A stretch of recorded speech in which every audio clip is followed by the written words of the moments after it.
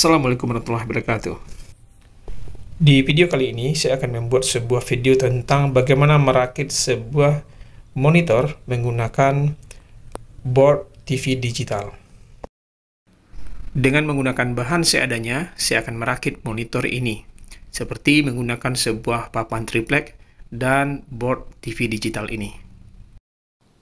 Oke, ini dia board TV digitalnya yang memungkinkan nanti monitor ini bisa menjadi sebuah monitor laptop atau extend monitor, serta juga bisa menjadi sebuah TV. TV board digital ini bisa ada sahabat beli di toko online atau di toko elektronik. Layaknya sebuah TV, TV board ini dilengkapi juga dengan sebuah remote control. Untuk monitornya, saya menggunakan monitor Lenovo ThinkPad 11 in. Sahabat bisa membeli monitor ini atau bisa menggunakan monitor bekas dari sebuah laptop. Ukuran monitor bisa menyesuaikan keinginan sahabat. Saya memilih ukuran yang kecil saja agar saya bisa membawanya ke pustaka atau ke lab tempat saya kuliah sekarang. Ukuran 11 in ini akan memudahkan saya untuk membawa ke mana pun monitor ini untuk mendukung pekerjaan saya. Ini adalah panel belakang dari monitor tersebut dan terdapat sebuah pin. Saya menggunakan panel atau panel monitor dengan 40 pin.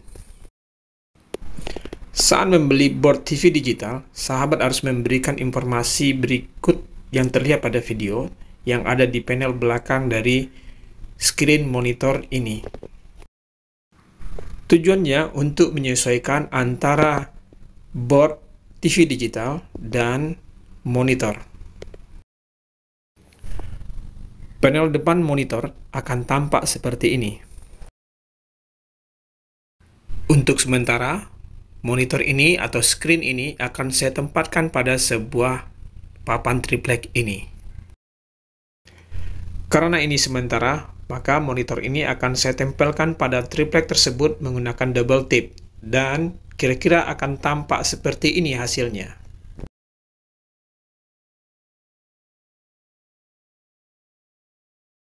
Sebelum masuk tahap perakitan, mari kita lihat dulu bagian dari board TV digital ini. Ini adalah port untuk ke antena, dan ini adalah port USB, ini adalah untuk audio, ini output video, dan ini HDMI, ini juga untuk COM ke monitor dan ini power. Power atau listrik yang digunakan adalah 12 volt. Port ini atau bagian ini adalah untuk menghubungkan board TV digital ke monitor.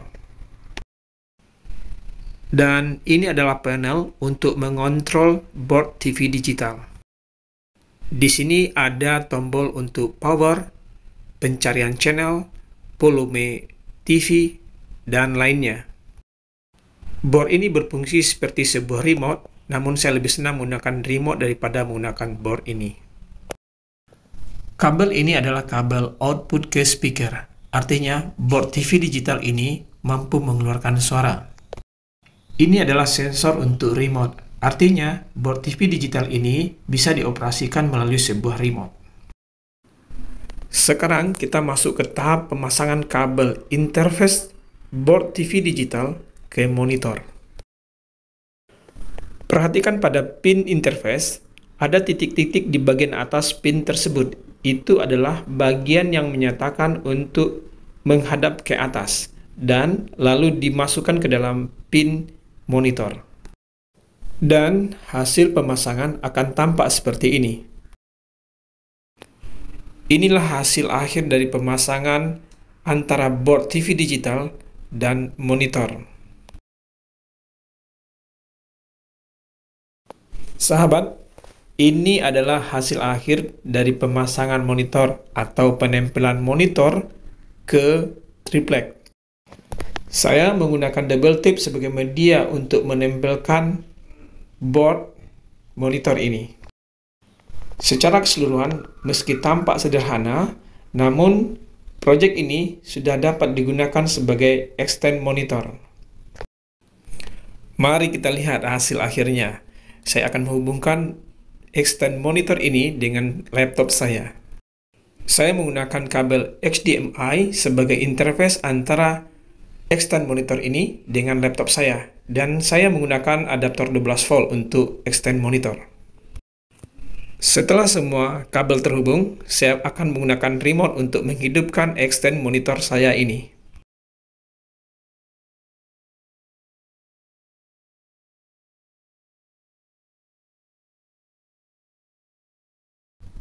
Terlihat LED warna biru menyala, artinya monitor saya sudah siap untuk digunakan. Dan terdeteksi juga inputnya menggunakan HDMI.